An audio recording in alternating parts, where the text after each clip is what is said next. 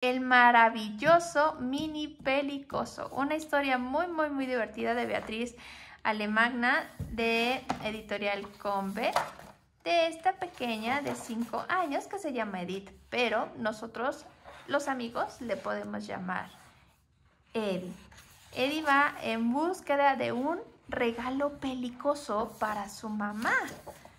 Y trata de ir a diferentes tiendas. Va con el, panadero, la florista, la boutique. Va con el anticuario y nadie tiene un pelicoso, ni entienden qué es eso, pero todos le regalan algo, algo que podría ser para su mamá.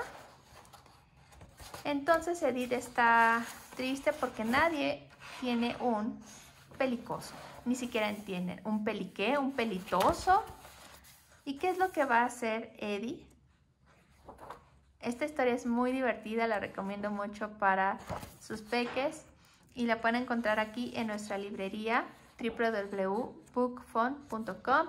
No olviden seguirnos en todas nuestras redes sociales y suscribirse aquí en nuestro canal de YouTube.